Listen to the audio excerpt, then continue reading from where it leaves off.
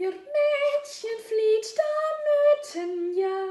als ich zum ersten Mal ihn sah,